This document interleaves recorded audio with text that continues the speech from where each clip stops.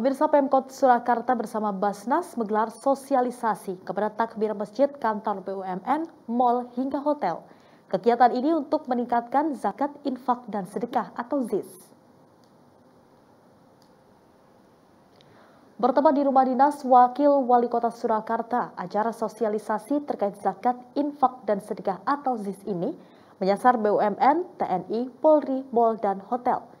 Menurut Wakil Wali Kota Surakarta Teguh Prakosa, potensi pihak-pihak yang tergabung dalam unit pengumpulan zakat atau UPZ mampu mendongkrak ZIS di lingkungan masing-masing.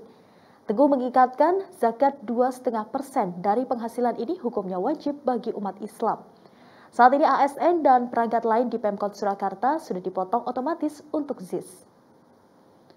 Tiga program uh, jadi kemanusiaan. Nah sekarang ini nyasar ke takmir-takmir di BUMN, TNI Polri, kemudian mal, termasuk dalam rangka takziah. hotel.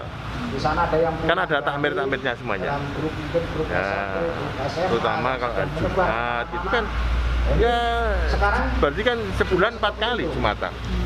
Nah itu bisa dikumpulkan, bisa disetorkan ke Basnas ini. Untuk apa dikelola? Termasuk nanti bisa saja kembali ke mereka.